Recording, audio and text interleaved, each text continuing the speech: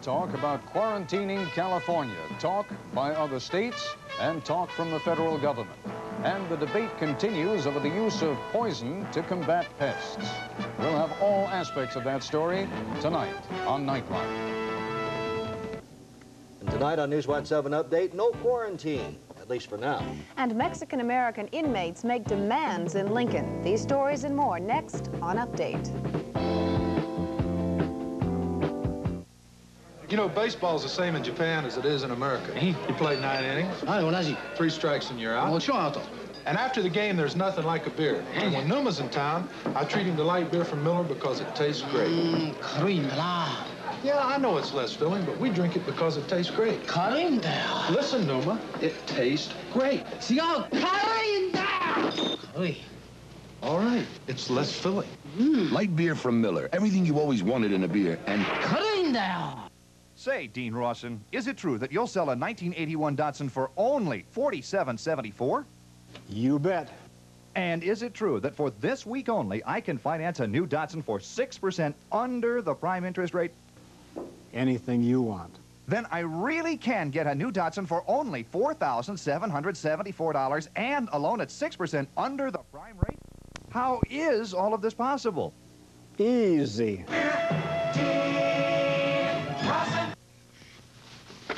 Sir. Oh, Newton, where are you going? Uh, malfunction in uh, Mansville. Well, you did try to solve the problem first by long distance, didn't you? No, I didn't. Newton, if you can solve the problem by long distance, you save them and yourself a lot of time. What have I got to lose? Just a whole day in Mansville. Just a whole day in Mansville. Long distance. It's the way to get things done today. You're watching 7 TV, the news specialists.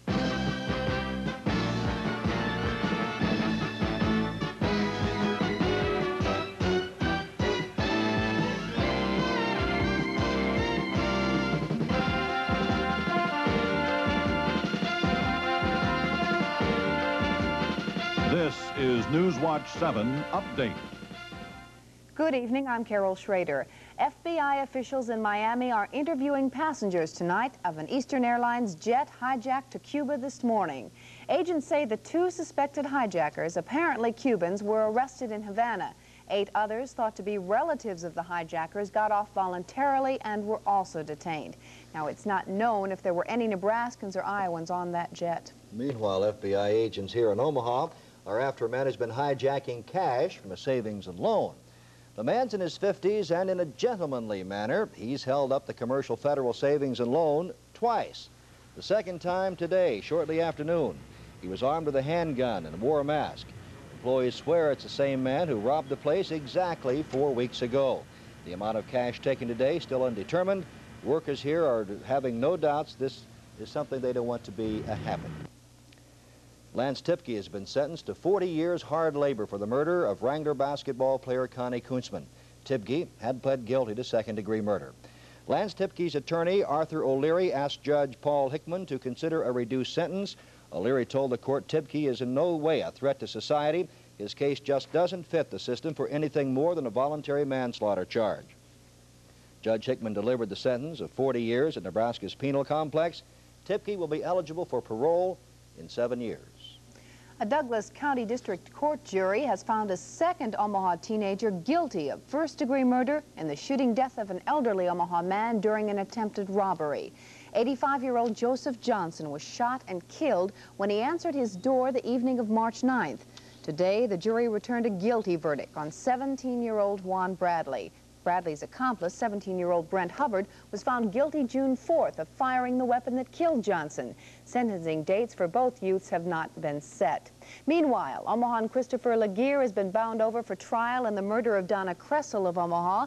Laguerre is charged with first-degree murder. Mrs. Kressel's body was pulled from the Missouri River June 28th. A Mexican-American inmate organization is demanding that the state take steps to bridge what they say is a communications gap in the correction system. Inmates voiced their concerns at a special meeting today. Capitol Bureau Chief Doug Parrott attended that meeting, but no cameras were allowed. There are several dozen Mexican-American inmates at the state penitentiary in Lincoln, and many other Hispanic-speaking citizens being held at other state correctional facilities. Some of these inmates have little knowledge of the English language, and that has caused severe problems when they've come up for discipline or parole hearings. Today, about 15 people, including four state senators and members of the Mexican-American Commission, met with Hispanic inmates about this problem. The inmates say they need a full-time bilingual interpreter on the parole board staff, as well as a Mexican-American on the board to stop what they claim is an insensitive, discriminatory position that's currently been taken by prison and parole officials. After the two and a half hour meeting, one participant said something must be done soon before inmates take matters into their own hands. I think that was pretty evident today. I think, you know, not only from the Mexican-American uh, inmates, but from uh, the Native American and some of the Anglo inmates that uh, I think the feeling is is that they're just about fed up with what's the inactivity, I guess, of, of uh, the parole board and the administration, and not at least meeting them halfway in some of their requests. And I think it could prove to, pretty, to be a pretty volatile issue if it's not handled correctly. Several of the senators attending today said they will seek funds for the interpreter spot and added that if such a position is opened, then the inmates and Mexican-American staff should be consulted in selecting the candidate. Doug Parrott, Newswatch 7 Update, Lincoln. Still to come on Update, more violence tonight in England. And Nebraska Congressman compromise in the Norden Dam project.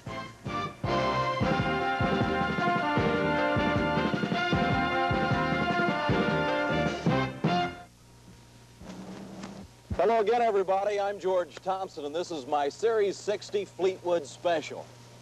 Car buffs will recognize it as the biggest standard Cadillac ever manufactured. And many in Omaha will recognize this as a symbol of quality automatic transmission repair.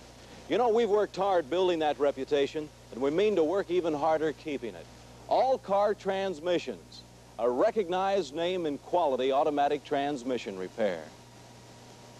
Welcome to TV land. You name it, we got it. And if we don't got it, we can get it. Get it? Uh, I think so. We'd like to see a Curtis Mathes. Forget it. I can't get it. I'm Curtis Mathes. You can buy most TVs just about anywhere. But you can only get a Curtis Mathes from someone qualified to sell and service it. A Curtis Mathes dealer. Uh, that makes us a little harder to find, but well worth the effort. You'll find Curtis Mathes products exclusively at these dealers. The world's most advanced drivetrain switches between two-wheel drive and four-wheel drive this simply. American Motors introduces Select Drive to the American Eagle. Four-wheel drive security at highway speeds, four-wheel drive traction off-road, and as simply as this, two-wheel drive mileage matching citation. Now the world leader in four-wheel drive makes switching to two-wheel drive this simple. See all the tough Americans at these local AMC dealers. Something grand just happened at Perkins, and it starts with a full third pound of ground beef. New sour cream, onion, and tomato. New chili, cheese, and onion. Mushroom and cheese. The new supreme. New ham and cheese. Introducing the Grandwiches, all five, all new. At Perkins. The Mediterranean fruit fly today brought the federal government and the state of California into direct confrontation. But it was Governor Jerry Brown who backed down. The Secretary of Agriculture said he would order a federal quarantine of California fruits and vegetables if Brown did not order aerial spraying of pesticide.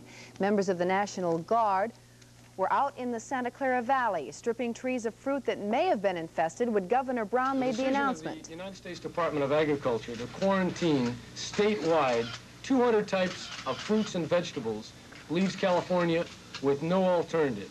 We're being forced into aerial spraying. Aerial spraying with the chemical malathion will begin at midnight Tuesday. The area is heavily populated and opposition to aerial spraying is just as heavy. Aerial spraying? I have a daughter-in-law in Sunnyvale that's pregnant. I mean, live it. Uh, we did try and institute a lawsuit to prohibit it, and that has not been successful. I don't know what other alternative we have. There is scientific debate over the health effects of malathion spraying, but the state's agricultural community has long been demanding aerial spraying. The reaction of today's to today's decision by this group was joyous. The hope is, of course, the fruit fly infestation can be kept from spreading from the Santa Clara Valley to the state's prime agricultural areas. If not, it could mean disaster for the state that produces half of the nation's fruit. More on the fruit fly problem tonight on Nightline. Still in California, the city of San Francisco was hit by an early morning fire that turned into the biggest since the 1906 earthquake. The fire erupted in an abandoned bathhouse and roared through at least 21 buildings before firefighters could stop it. It was hours before the debris could be searched for possible victims. Many of the buildings were apartment houses.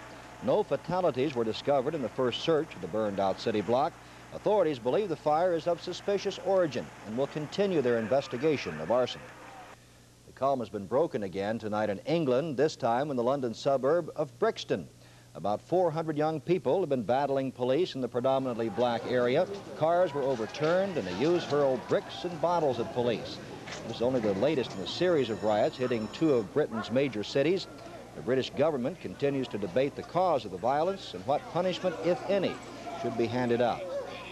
In Belfast, Northern Ireland, the body of Irish hunger striker Joseph McDonnell was buried today alongside Bobby Sands. What started as a peaceful funeral procession turned into a riot when British police tried to arrest gunmen who fired a volley of shots over the coffin. The O'Neill Water Project has generated controversy for some time now. Today, the Nebraska congressional delegation notified the federal government that several alternative plans are being considered, and the federal government has agreed to undertake a study. We have this satellite report from our Washington correspondent, Mark Trank. As a result of the agreement between Nebraska House members and the Interior Department, a full field-level reconnaissance study will be undertaken in the Atkinson-O'Neill area in the next 120 days. The alternatives to the present project include a diversion dam on the Niobrara River, a canal system to the Atkinson-O'Neill area, and an artificial groundwater recharge pumping plant. Congressman Hal Daub helped put together the agreement, and he says the alternative study is needed. Essentially, it's an option or an alternative study format to see if we can find a publicly acceptable, less costly alternative to groundwater reclamation and provide uh, water for irrigation uh, for the O'Neill, uh, Atkinson, Springview area. One problem with O'Neill is that the project lacks a plan to recharge the groundwater. Daub says it's possible one of the alternatives will prove to be better than O'Neill. I've never been uh, fully sold on the project. That is to say, I've felt that uh, it was neither uh, too great or too bad. I think it's kind of one of those middle water reclamation projects. I do question whether all of the acres currently designed or designated for irrigation uh, in a cost-benefit sense uh, need to be uh, a part of that project. The agreement cuts the funding for O'Neill in fiscal year 1982 from $3.3 million down to $500,000, just enough to keep the project barely alive.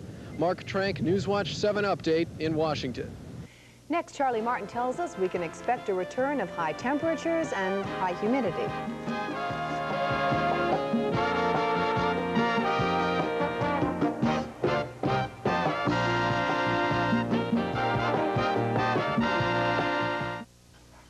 Got summer projects? Turn on the, turn on the, well, turn on the savings at Our Own Hardware with this circular full of values. Like an Our Own 150 watt flood lamp for 298 a Burgess Jungle Fogger for $27.88, and a GE portable radio for $19.99.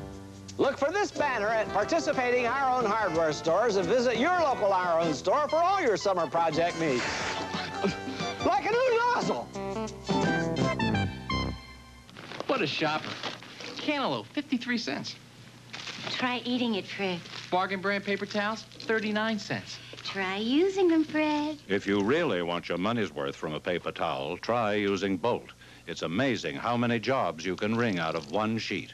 In tests, Bolt not only absorbed more than Bounty and Scott towels, it proved stronger to keep on absorbing. How did you get so smart? Practice, Fred. Practice. Bolt, it isn't finished till the job is. Huber! Isn't that a Chevy up ahead? Huber Chevrolet has made special arrangements with this area's largest banks to finance your new Chevrolet at 6% below prime. But hurry, Omaha. This is limited time offer. You must act now. Choose from Huber's entire new vehicle inventory. T-tops, diesels, Cavaliers, Corvettes, even Winnebago vans. And finance your purchase at 6% below prime. So hurry to Huber. While the money is plentiful and selection is great. Huber, 111th and West Dodge Road. It's bigger than big. It's hotter than hot. It's the fabulous July clearance at the Nebraska Furniture Mart. Already low prices have been slashed even further. You'll find super saving prices on Hotpoint refrigerators, freezers, air conditioners. Big bargains on Hotpoint dishwashers, washers, and dryers. The season's low prices on Hotpoint microwaves and ranges. See how much you can save in the spectacular July clearance at Nebraska Furniture Mart, Omaha. We were talking about interest rates going up, and I guess that leads to temperatures going up. Well, the temperatures went up today. They'll go up tomorrow. They'll go up Sunday. They'll go up Monday. Not not more Tuesday. and more and more. No, but just about the same level, Oh. which is enough for most folks. Uh, you know, we don't need uh, double-digit inflation in the temperatures. Thank you, folks. Let's take a look at today's highs. We'll show you they were warm enough. Uh, 80s were confined mostly to the northeast portion of our area. Otherwise, well into the 90s. Almost 100 around our area. It did get up into 100 out through South Dakota, with the high spots being Chadron, Nebraska, and uh, at Huron, South Dakota, with 102. And it looks like more of the same tomorrow. Meanwhile, you would expect maybe a little relief from the high temperatures with some evening showers. Not so tonight. We indicate one lone shower, and lone it is around Storm Lake, Iowa, moving to the northeast. Well, here it is, folks. we got a warm front that went through today just as we predicted, and we got into the humidity just as we predicted. We're going to have southerly winds all through the weekend. This low is going to stay just about stationary, and it's going to keep pumping that moisture direct from the Gulf of Mexico.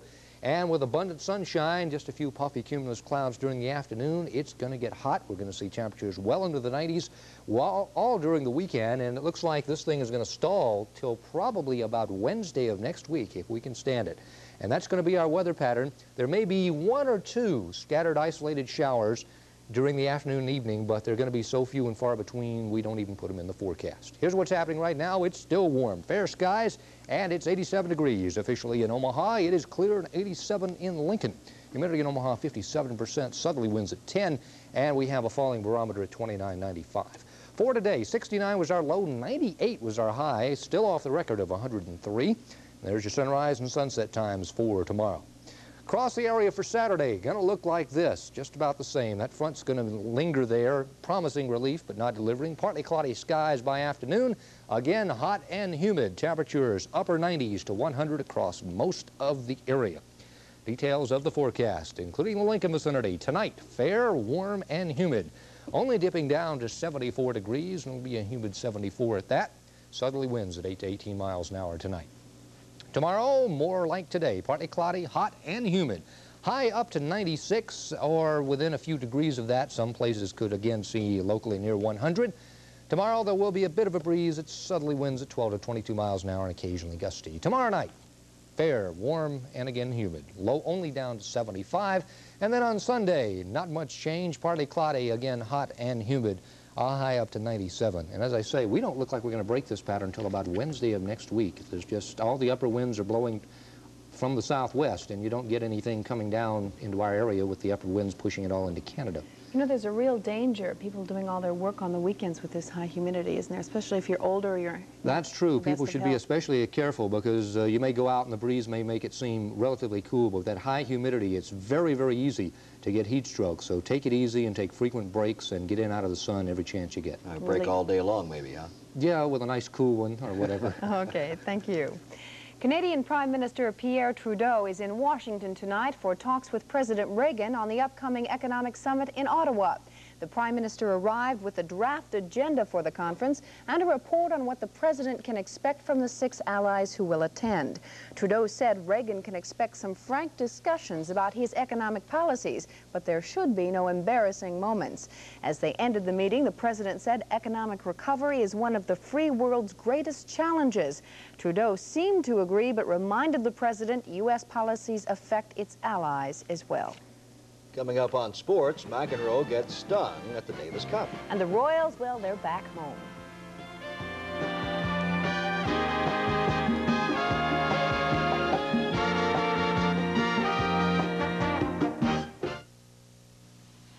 Isn't this a pretty sight?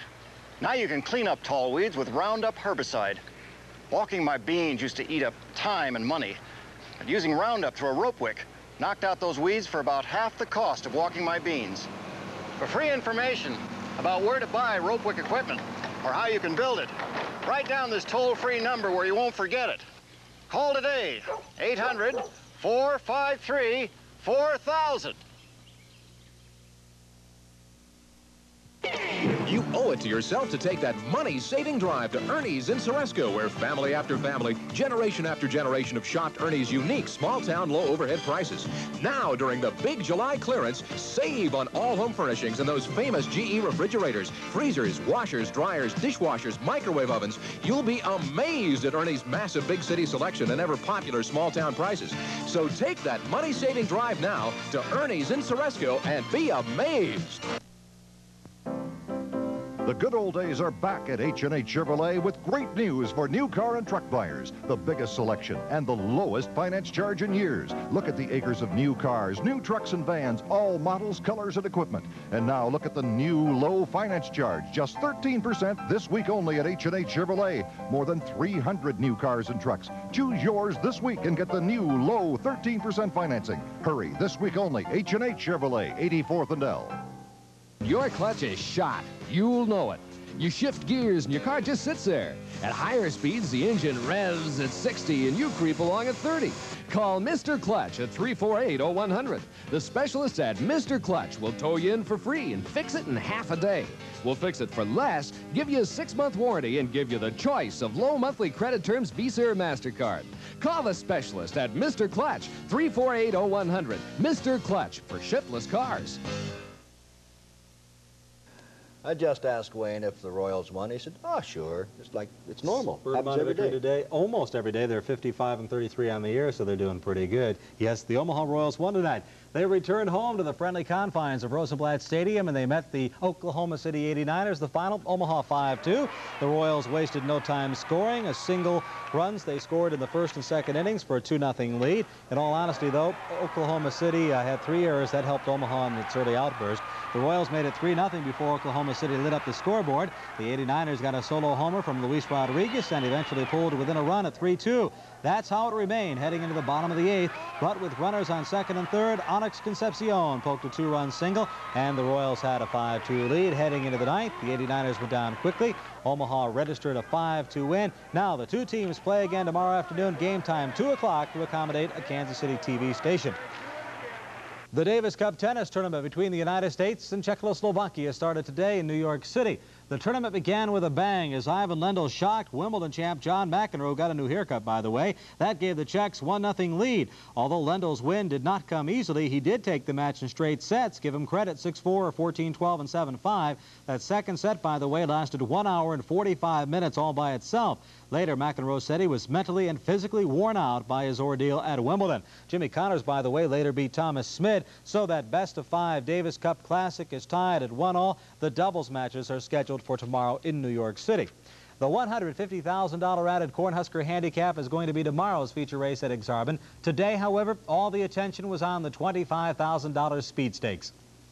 They're at the head of the stretch. Daddy Al with a head in front, and there's Smokite now driving up to drive to the lead. Ogatal is third. In the drive to the wire, it's Smokite by two and a half. Ogatal now second, and Daddy Al third. They're driving to the wire. It's Smokite and Ogatal. And Smokite wins the speed stakes a length and a half. And here's the official finish. Smoke-Eyed Ogatal was in there for second place, and Murr the Blur, he got in there third. Real Valentine took the first one, paid 27.80. Barb Sailor was first in the second, paid 65.60. A double of 7 and 9, $735.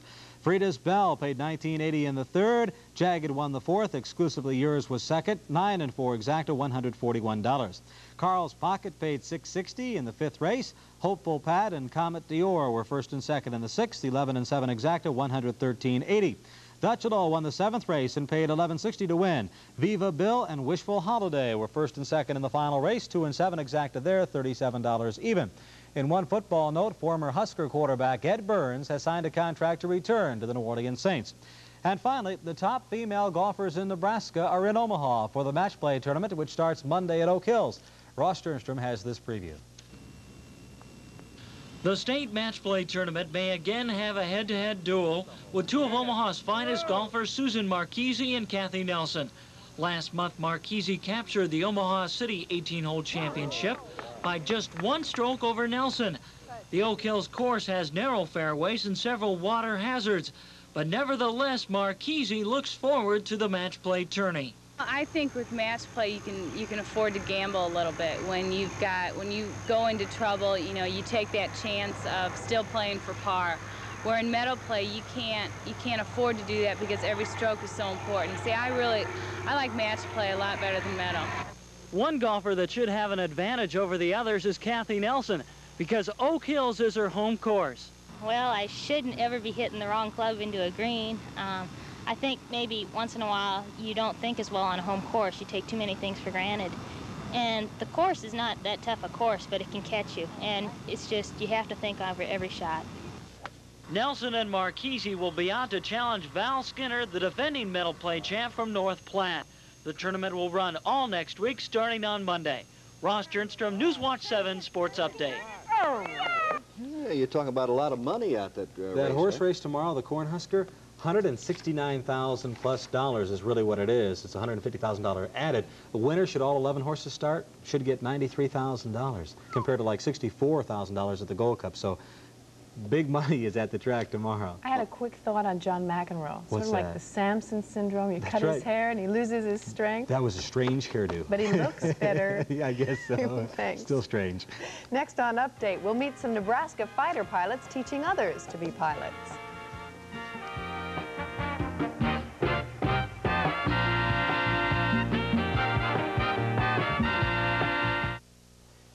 Financing rates are coming down during Omaha's Super Car and Truck Week, and trade-in values are going up. Your Dodge dealer will be throwing away the book on trade-in allowances because he'll be doing better than the book. So let your old car do the paying for a change by helping towards a down payment on a new Dodge. Then finance with annual percentage rates as low as 13%. Don't miss Omaha's Super Car and Truck Week. This week only at big-hearted Joe Sockerman's Husker Dodge, 54th and L, Omaha. My mother taught me a lot, but the first two things I remember were to cook with gas and to do it with caloric.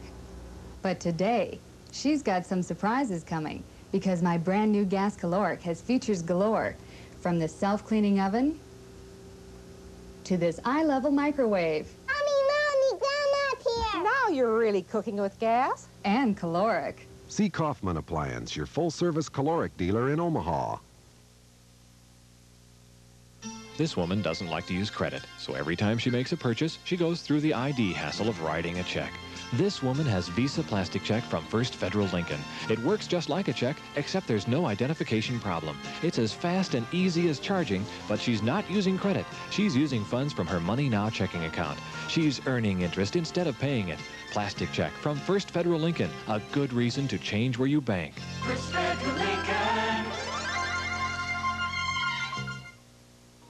Olson's West Roads Auto World, in conjunction with participating Omaha banks, offers the lowest interest rate in years.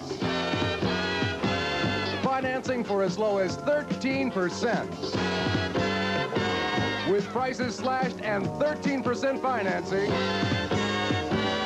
you can't afford to miss this one-week super savings extravaganza at Olson's West Roads Auto World. Offer ends this weekend. Tonight on Closer Look, the final segment in a series of reports we taped recently while on special assignment with the Air Force in Texas.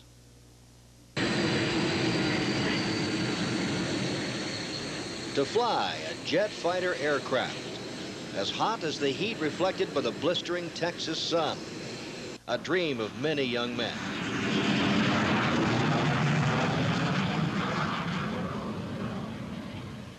A man who flies one of these sleek craft is Bellevue native Captain Jack Jackson. He's an instructor pilot with the Air Training Command, and he's a breed apart. Jack says if he can stand up in a plane, it's too big for him. Jack likes his fighters. Well, it's mostly just a fun plane to fly. Um, you know, that's the big deal. Plus, it's just one or two men in one plane, you know, doing the job instead of in a larger aircraft, you sometimes have a crew of anywhere from four to eight guys that you have to ride herd on. And, uh, you know, just being one or two guys is I guess it's more my style, more what I would like. These fighter pilots are young and strong, among the best this country has to offer. And fighter pilot instructors take a special pride in their work. We have a mixture of uh, young guys and some of the older guys with experience, but uh, most of the guys we have are, are FAIPs, and that means that they're first assignment IP and they're coming right out of pilot training and being an instructor.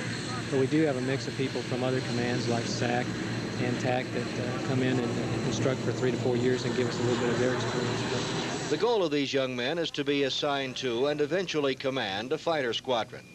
Young men who have truly slipped the surly bonds of earth and danced the skies on laughter's silvered wings.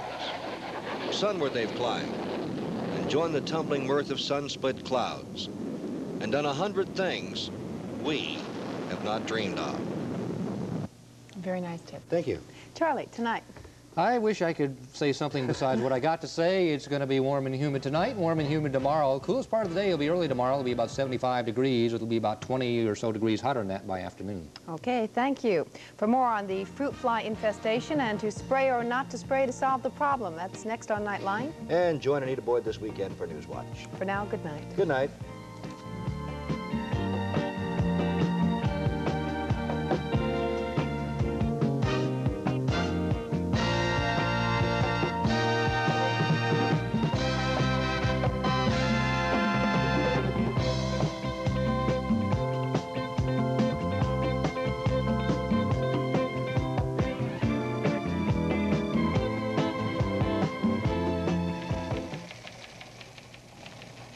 Problem is California's. The fallout could be nationwide. Our focus tonight, the continuing possibility of a federal boycott against much of California's produce and the enduring conflict over chemical spraying of crops and its potential danger to the general public. This is ABC News Nightline. Reporting from Washington,